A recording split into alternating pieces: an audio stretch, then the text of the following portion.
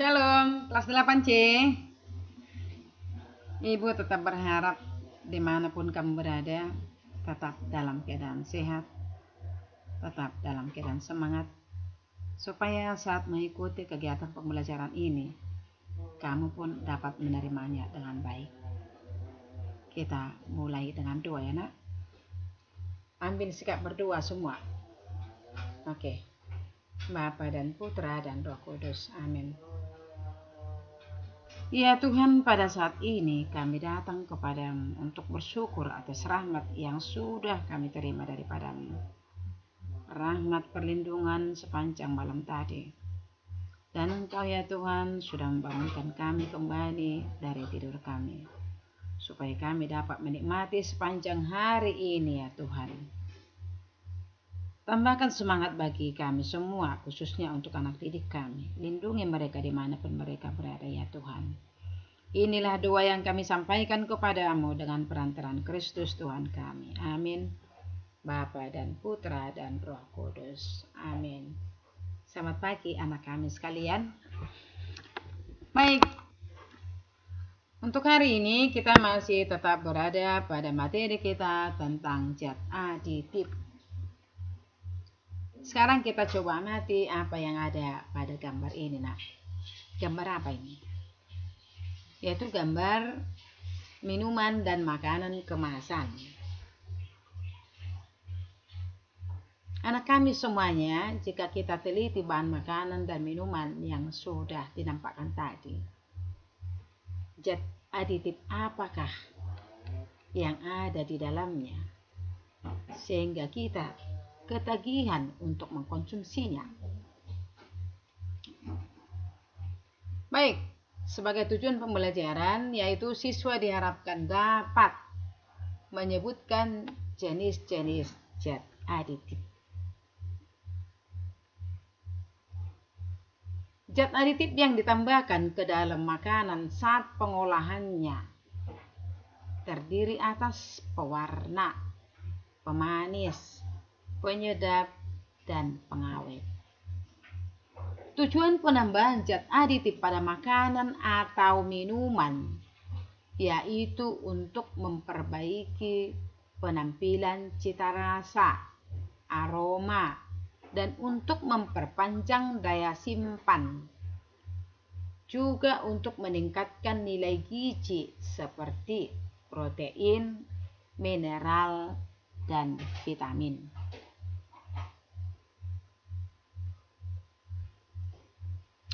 Berdasarkan fungsinya. Zat aditif pada makanan dan minuman dikelompokkan menjadi pewarna, pemanis, penyedap, pemberi aroma, pengental, dan pengemulsi. Sedangkan berdasarkan zat asalnya, zat aditif terbagi dua, yaitu yang alami dan yang buatan ataupun sintesis. Dikatakan zat aditif alami karena bahan bakunya berasal dari makhluk hidup. Contohnya yang dari tumbuhan misalnya adalah uh, penghasil warna yang sesuai yang diharapkan. Warna hijau misalnya daun suci atau daun pandan penghasil warna merah misalnya uh, buah naga ataupun stroberi. Penghasil warna kuning misalnya bisa dari kunyit. Penghasil warna orange misalnya berasal dari wortel. Penghasil warna hitam itu dari arang. Arang itu kan dari kayu. Sedangkan uh, penyedap dari daging hewan dan zat pengental itu berasal dari alga. Zat aditif alami ini tidak akan menimbulkan efek samping yang akan membahayakan kesehatan manusia. Nah, sekarang kita beralih ke zat aditif yang buatan. Ini diperoleh dari mana? Zat aditif buatan ini diperoleh dari proses kimia. Dan bahan bakunya pun berasal dari bahan kimia. Zat aditif buatan ini harus digunakan dalam jumlah yang diperbolehkan. Kalau tidak, pasti ada akibat yang tidak diinginkan. Dan dalam penggunaannya harus sesuai dengan fungsinya juga.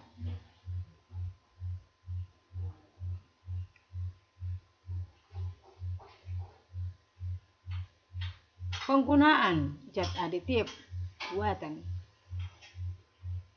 dapat membahayakan kesehatan. Contohnya pewarna tekstil ini sering digunakan pada makanan.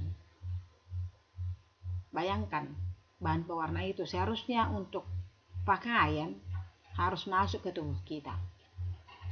Karena tidak pas, pasti ada efeknya. Tubuh kita terasa sakit, tidak nyaman begitu dan bisa terjadi penyakit-penyakit yang sangat berbahaya. Nah ini misalnya pengawet yang berasal dari asam bencoat, ke mana digunakan itu? Secara umum digunakan untuk apa itu nak? Pembuat bakso, pemanis buatan dari sakarin, pewarna dari tartrazin. Nah, sekarang nak kita lihat dulu gambar daun suci atau daun pandan itu. Yang merah itu gambar apa? Buah naga tentunya. Yang kuning kulitnya isinya merah. Ini semua termasuk penghasil warna alamiah yang tidak memiliki efek samping. Itulah keunggulannya. Kita sehat dibuat, tak ada efek sampingnya, tapi kekurangannya yaitu juga memberikan aroma yang tidak sedap. Warnanya juga gampang rusak. Setelah layu dia tidak cantik lagi itu kelihatan ya. Nah, kemudian kita berani ke pewarna buatan yang ditambahkan pada makanan ataupun pada minuman.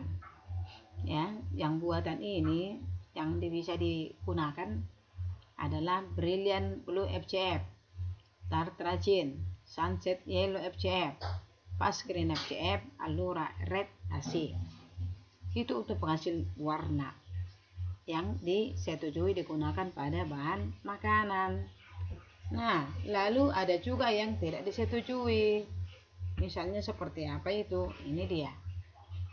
Indantrin blue, kuning, fasil OB nggak disetujui, orange, crisodi nggak disetujui, penghasil warna hijau, winia green B nggak disetujui, dia coklat, coklat atau coklat brown B. Tidak disetujui, apalagi warna apa ini, warna merah hitam, ponsel sex warna hitam black 7984 tidak disetujui. Kenapa? Karena akan membahayakan tubuh. Oke, anak kami sekalian. Kalau ada nanti uh, yang perlu dipertanyakan, mohon dikirimkan lewat WA ya, nak.